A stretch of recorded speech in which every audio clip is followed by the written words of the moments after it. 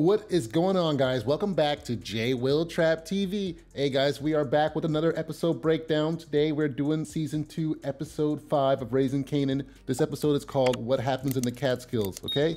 So, I actually really like this episode. A lot of interesting things going, a lot of more information and characters introduced. So, I'm really looking forward to recapping this with you guys. Let's go. Okay, so we start the episode off with we see that snitch, the, the crackhead snitch guy who was telling about uh, Kanan's boys selling the, the blue caps last season. So he goes into a building, he goes up and he's looking for crack. Uh, Marvin is behind the door, and Marvin comes out in some cleaning gear. He gives the guy some crack. The guy takes off, but Marvin tells him that they're closed today.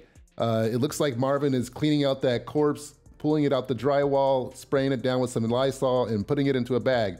So he's in this room cleaning up this corpse, and he doesn't want the crackheads coming upstairs seeing what they're doing. In our next scene, we're back at Raq's house. Uh, Raq is sitting over Kanan and wakes him up and he's a little disturbed and she tells him that they're gonna go camping. Uh, they're gonna go camping at the Catskills. I guess this is some place they've been before. She wants to do a mother-son tip, just the two of them, so they can spend some quality time together. Outside of Raq's house, we see that there's two Italians, and these guys are well behind enemy lines. They are deep in Jamaica, Queens, and they are at Raq's house. This is not good, and it shows these guys are really trying to pick apart Raq's organization to figure out what is going on. Uh, they're talking about they're they're watching, and they one of them says that a few colored people move close to him, and they don't bother him, and they don't, and he doesn't bother them. And then the other guy, his name is Dominic. He asks, "Oh, well, how would you feel if you know they came home one if your daughter and one of those uh, one of the black folks came home one day and said that they were together?" He's all like, uh, "I don't know, Dominic. I don't know what I would do." And then he's all like, "Oh, I bet you knocked that little dude's teeth out." So these guys you know, these, these, mafia dudes, I don't know if you guys watch The Sopranos, but one of the things I hate the most about The Sopranos is there's like a lot of racism in the show. And I don't know if it would fly now if it came out now, but going back and watching that show, it was just so annoying to hear like all the little racial edits they would say about black folks. And it was just totally okay. But so yeah, um, these dudes are pretty racist. So we go back inside Raq's house. And now Kanan is in Juke's room. He's asking her, Are you going on this camping trip? And she's like, No, your mom said that's between you and her. So that's what you guys are doing. Kanan tells Juke that he looked Howard in the eye and had that same feeling that she described in the last episode, that familiar feeling. So Kanan is getting closer with Howard, and I don't know where this is gonna go. But Juke tells Kanan that Howard is not his father and that he is just playing this game to get close to Raq and to stay away from him. Kanan also says that he's not really on a cool level with his mom and he doesn't feel like she's being honest with him. And then she comes into the room, tells him to hurry up, and uh, he heads out. Juke jokes about Kanan getting poison ivy. Before the end of the scene, we see Juke pick up the, the track that Crown gave her, and she starts listening to it, and she can hear Zisa's voice and she gets upset and leaves. So the next scene, we're at a radio station, and Lou and Crown are talking to what seems like a radio executive about some of their new artists, uh, primarily Zisa, and they're saying pretty much she's going to blow, and that you know they they want his support and etc and it, it looks like Lou's coming in a little heavy. And then Crown kind of interjects and says, "Well, Lou's just a money man. Um, I'm really handling the business." And then the guy, I don't know, there's, it seems kind of weird. The guy doesn't seem to want to talk in front of Lou, and he says like, "Oh, well, you know, my turns are going to cost something." So then they go outside and they pretty much talk shit about Lou while he's sitting in the room. Uh, Crown says like, "Yeah, man, I almost laughed at what that guy was saying."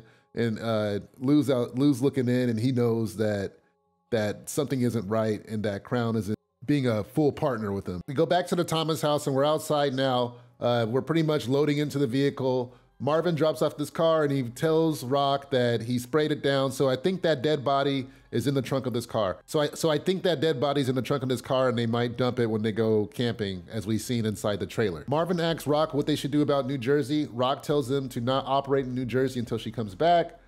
Marvin says, hey, we should just shut the whole thing down. And Raq says, no, because we shut that down, they're going to start sniffing around other places. She says they're like sharks, and once they smell blood, they start circling around all their stuff. And this is true because we got we got these uh, Bocelli members out watching us right now, and we don't even know about it. So now we switch scenes, and we have Crown and Lou leaving the radio station. They are in a parking structure, and Crown uh, Lou is walking ahead, and he's walking pretty fast. He looks upset.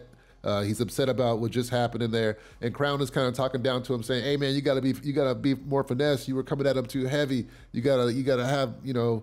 You, you got to sweet talk him. And then all of a sudden, we just see Lou turn around and punch Crown in the face, blood coming out. Crown lands on the ground. Crown reaches up and tries to like use Lou to stabilize himself, and then Lou moves his hands and says, "Don't touch me." And Crown says, and and like I really like this scene. Crown says, "Hey man, I'm tired of you putting your hands on me, bro." And then and then Lou says, "Well, what you gonna do about it?" And then Crown pulls out the pistol, and then Lou looks and he goes like, "Hey, if you gonna pull that out, you better use it." And then Crown says, "Who said I wasn't gonna use it?" You know my favorite line. And oh my god, I feel so stupid pumping up that line because Lou just walks up to him and he goes like, "Me." I said you're not gonna use it. I'm like, oh my God. Then he just walks away, bro. And, and look, Crown could have shot him right there in the back, looks around, and he doesn't do anything. This dude is really scared of Lou, man. Why you pull that pistol out, Crown, and didn't do nothing, bro?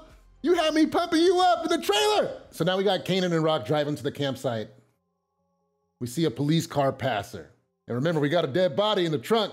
So it's like, oh man, so yeah, they pass her. Raq asks uh, Kanan if he has heard about Davina. If you guys remember who Davina is, who, she is the woman or Kanan's love interest in the first season. She was taking care of her little sister by herself, and eventually, uh, Child Protective Services got called and they got taken out of their house. Kanan tells Raq that Davina's now in South Carolina. Raq asks Kanan if there's another girl, and Kanan at first is a little shy, but he does tell her about Kareen that he met at Famous's apartment. Kanan ends the conversation a little hostilely by asking if he can turn the radio back on. We now have Marvin and Renee getting lunch. Renee says she wants to meet outside the group because she's noticing that Marvin is having trouble opening up in the group. Marvin says that he doesn't want anybody in his business, but Renee says that he needs to keep his end of the bargain and that she might have to go to the judge and let him know that he's not speaking up in the group. Marvin says that he goes in, he behaves, he listens to everything he says. He doesn't need to talk. He's showing up and he's he's he's he's meeting his obligations for the group. And he asks her like, "What do you want? Like, what else do you want from me?" And Renee asks him to tell her something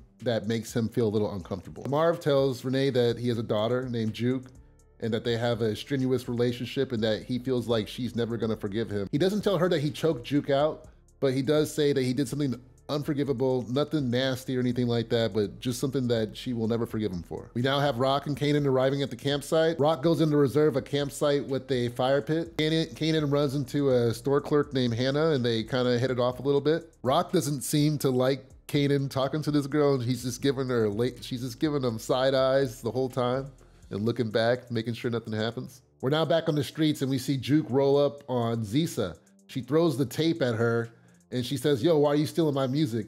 And then Zisa says, I didn't even know this was your song. Lou gave me this song. Once once Juke hears that Lou was the one that gave her the song, she's satisfied. She starts to leave, and Zisa tells her that she doesn't need to steal anyone's music; that she has her own music. Uh, looking at this, I I was a little concerned because I, I, thought these guys were going to be friends or possibly get into like a relationship together, but it, now it seems like they're kind of rivals. I, I think that Juke has a lot of is, is, you know doesn't really dislike her, but, but but dislikes the idea that you have to have this kind of look Zisa's look to be uh, successful in music.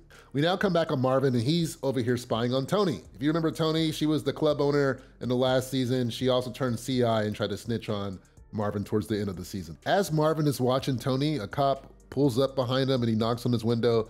He tells Marvin that he doesn't recognize him and he makes it his job to know everybody who hangs out in the town. He thinks it's a little suspicious that Marvin's hanging out around this area. Marvin assures him that he's just hanging out eating a bag of chips and that he doesn't have to go anywhere, and the cop just ends up leaving him alone. Tony starts to drive off, and Marvin follows her. Kanan and Raq now arrive at the cabin. So Kanan and Raq arrive at the campsite. They start unloading their items. We can see that the mafia guys, Dominic and Jimmy, are following them. This is getting crazy, man. Are they gonna come and attack Kanan and Raq while they're camping? What? We now come back to the studio where Juke confronts Lou, asks if he gave Zisa her song. Lou immediately says, instead of answering the question, he asks if Crown was the one who told her. And Juke says yes, but she would have found out anyway. Lou goes into this thing where he says that certain songs are for certain artists, and he thought this song worked really well with Zisa. He put it on, and it just worked. Juke takes this and says, Is she not beautiful enough to sing the song? And Lou says no, and they have that same conversation they had two episodes ago. Lou ultimately apologizes and says that he should have asked her before giving up the song. He also throws in that there's nothing wrong with getting a writing credit. This just pisses Juke off even more and she leaves. In the next scene, we see that Detective Burke is questioning Howard's prostitute, Andrea.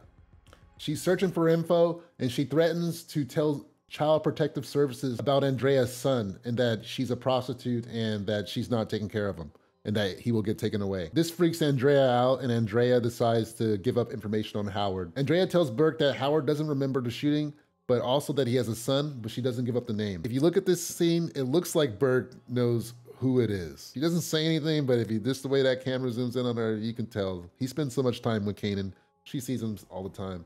I think she knows. We, we now go back to the camping scene, and Kanan and Raq are talking about how boring camping is. Kanan's saying that hiking is the same thing as walking, and he can do that back at home. Raq asks about like swimming. Kanan says he doesn't want to do that. Raq asks about hunting. He don't want to do that either. Uh, we see that the Italians are setting up shop in a cabin right next to Raq's cabin, and they're just kind of keeping an eye on them. Kanan says he's going to go to the store to get a soda. The the boss mafia guy Jimmy, he he now says that he's going to take a shot at Raq, and he tells Dominic to go follow Kanan and to keep him distracted. Kanan runs into Hannah, and she seems like she's romantically interested in Kanan. Jimmy, the mafia guy, tries to sneak up on Raq. He's out moving through the bushes with a pistol. He steps on a twig, and this uh, alerts Raq and has Raq start looking around. But she thinks that Kanan's lurking in the bushes trying to scare her. She calls up to Kanan and says it's not funny and to come out, but Kanan doesn't come out. As Raq is calling out to Kanan, it looks like Jimmy is lining up the perfect shot to kill Raq, but then some other campers show up and this stops them from shooting her. These campers are looking for some wood supplies and Raq tells them to go ahead and take as much as they want. And then she says she's gonna go look for Kanan. Jimmy doesn't take the shot because he doesn't want to alert the other campers. We now switch to a scene with Hannah and Kanan smoking a blunt. They're having a good time and they're really vibing. She asks him some questions about the city and Kanan, you know, gives her that you know, Kanan charm. Kanan goes in for a kiss, and this dude Dominic comes out and totally cock blocks Kanan. As he does this, Raq walks up right behind him and says, Yo, don't talk to my son like that. As uh, Kanan and Raq walk away, Raq tells Kanan not to mess with white girls, it'll get you killed. And Dominic tells Hannah that if she were his daughter, that he would lock her up forever. So this guy, okay, so if you remember in the beginning episode, he was all like, "Hey, how would you feel if you know if your daughter started dating one of these black guys?" So this dude has like a phobia of like any white woman dating a black dude, kissing them or touching them, anything. This just freaks him out. Hannah gets upset at uh, Dominic for the way he approached her, and she calls him a dick. Dominic goes back to the cabin. He sees that Jimmy was not able to kill Raq. He asks what happened. Jimmy tells him that there were some other campers that came out and he didn't want to take the shot while they were around. Dominic says, why don't we take Kanan and Raq out at the same time? And then Jimmy tells, and then Jimmy tells Dominic that, hey, that's against the mafia rules. We don't kill kids. It's bad for our conscience. It's bad for business. It's just bad for everything. We don't kill kids. And, and, and you know, I like that the mafia points out, you know, some of their rules that they don't kill children. You know, because if you remember, Lou shot D Wiz, and that was just terrible. At least the mafia, they have like some, you know, some level of honor. So, so now we have Raq and Kanan sitting around a fire. They're making s'mores and they're drinking a little bit of liquor. Raq tells Kanan that she brought him out here to get an idea about how he feels, what's going on in his head, if he's ready to take over the organization. She tells him that he's the heir and that it's ready for him if he wants it. Kanan, you know, before we thought that Kanan didn't want to do this life, in, in previous episodes, Kanan was saying that he didn't want to really take over the organization, but now he says that he does. Raq says that there should be no secrets between her and Kanan, no side hustles, nothing. They should tell each other about everything. Kanan hits Raq back and says he wants that reciprocated. He says that he wants her to share everything with him too. Raq says all you gotta do is just ask. So we still got some, you know, dishonesty because you know Kanan has a lot of burning questions on his mind that he wants to ask Raq, but he just isn't doing it, you know? And I thought he was gonna ask her, well, is Howard my father right there? But then the scene ended. We switched scenes and Now we're back at the Thomas house outside. Looks like Howard doesn't know where Kanan is and he's sitting outside waiting, watching Raq's house. see Juke walk up and he gets out the car. He confronts her and he asks her where Kanan is. He says that he's been paging him. And then Juke says, she doesn't know. And then she keeps it pushed and goes inside the house. Raq and Kanan drive into the forest. They get out the car and Raq shows him the body in the trunk. She tells him to get some shovels so they can dig a hole and then dump the body. We switch back to the studio. Fame comes into the studio. Fame starts rapping and it sounds mediocre at best. And Lou is just not interested. Fame starts begging for studio time. And in the middle of begging for studio times, he starts dishing on the Jessica and Crown situation. He tells Lou that he was bringing her home late and her hair was all messed up and fluffed up and all kinds of suspicious things. Lou tells Fame that he already knew about this, which is weird because I didn't know he knew that they were doing it, right? So maybe he just played it off, but he tells Fame that, yeah, go write some rhymes. It's not about it's not about Jessica, not about Crown. Write some rhymes, do the work, and he'll get them in the studio. Fame leaves, and Lou looks pissed. He looks at that mural and he is just, it looks like he's ready to tear down Bulletproof Records. or at least half of it. In our next scene, we see Juke. She's in the church with her mom, Kenya. Kenya's singing. Juke is watching. Guy, uh, some some little dude walks up. You know, little little dude walks up on on Juke, and she you know she got her hair down. You know, so she looking, you know, she looking like a you know a fine little dark skinned lady. And this dude tries to get at her. You know, he's saying he's praying that she can get her digits. And for a second, it looks like Juke might have about to give him the number, but then nah, Juke plays him. Well, she didn't play him. She just kind of curves him a little bit. And then uh, Kenya calls Juke up to come sing. She's talking with the head pastor, and sh- uh, she's saying that Juke is blessed with the same voice as her, and uh, they should hear her sing. So uh, they allow Juke to sing, and she does an amazing job. Everybody's happy, and she gets a standing ovation. We now have a scene at Howard's house with Howard and Andrea. Andrea is letting Howard know about what happened with Burke and how she got pulled in, and the questions they're asking her. Howard asks, "What? What did she tell her?" and she lets uh, she tells Howard that she told Burke about his son, and this gets Howard really upset, and he pretty much kicks her out. We go back to Marv, and he looks like he's still following Tony. It looks like he followed her to his mansion. He's looking on at her and her new husband. Uh, he drives by, and just before the scene ends, we see that cop's police car, the one that kind of tapped on his window earlier. He is still following Marvin. So this is not good for Marvin. Marvin, please don't slip up, Marvin. Marvin, don't slip up. Don't do anything criminal. We switch back to Kanan and Raq. They're preparing to go. It's the next day. And Raq tells Kanan to go return the keys. As Kanan's going to return the keys, he sees Hannah again, and they they kind of talk, and you know these they've been vibing all episode. So they kind of walk into a room, and it looks like they're about to do it, maybe, right? But we also got the Italians uh, still lurking in the shadows, and Dominic is following Kanan. We see now that Raq is alone, that Jimmy is going to take another shot at her. Jimmy walks into the cabin with his pistol out and he's looking for Raq, but Raq gets the drop on him and puts a knife to his throat. We also see Kanan start fighting Dominic at the same time. So the action is this amped. Raq and Kanan are, I would say, maybe half a mile within each other in different places, dealing with different threats. Raq tells Jimmy that she's gonna have to take him out because if she doesn't take him out, that they're gonna keep on coming. At this point, Hannah runs into Raq's cabin and she tells Raq that Kanan is about to be killed. Raq knocks out Jimmy with the knife and she starts running towards Kanan. We go back to Kanan and he's fighting with Dominic. Dominic gets the advantage on Kanan and he wins the fight. He knocks Kanan down, he pulls out his pistol and he's about to execute him. Raq runs in and she has a knife, but she is not moving fast enough to stop Kanan from getting shot. Next thing you know, Jimmy comes in behind Raq and shoots Dominic. Obviously, Jimmy shot Dominic because he doesn't believe in killing kids. It's against the Mafia code, and he was doing so to stop Dominic from making that mistake. Dominic is pissed. He's yelling at Jimmy just to shoot everybody. Kanan picks up Kanan picks up Dominic's gun and points it at Jimmy.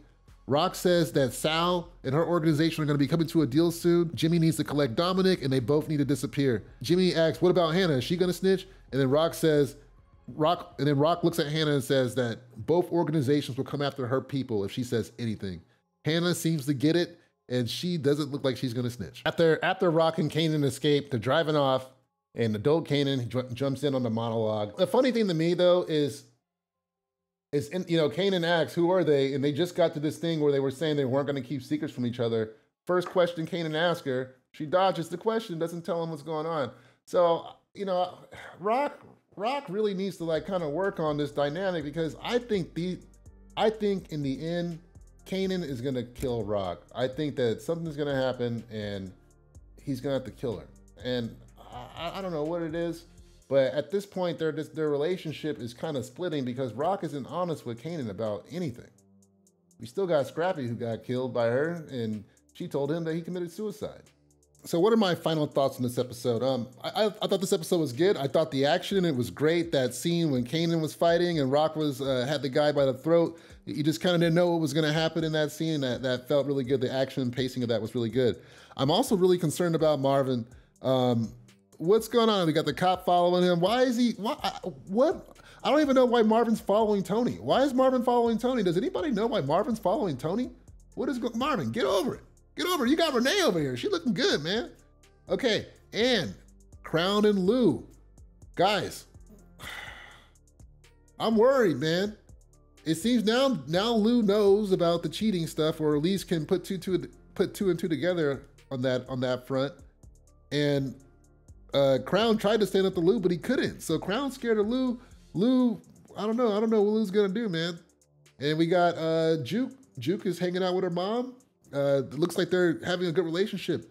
What's gonna happen when Marvin finds out about this? Raq knows about it, but what's gonna happen when Marvin finds out? We did see in the trailer that that Kenya uh, punches Marvin, so there's gonna be some conflict there coming up. So, all right, guys, make sure to hit that like, hit that subscribe, and put a notification bell so you know when I go live or make a new video. Thank you guys so much for helping out the channel. Tell everybody about it. Let's get some more subs. And if you're watching, guys, you're coming back, you're not hitting that sub or that like button, help me out. Come on, help me out, guys. It's not hard. It's free. It's free for your boy. Free for your boy. We gonna make this better so I can make better content for you guys, so I can get better stuff, get new bells and whistles and whatnot. All right, let's go. All right, guys, peace.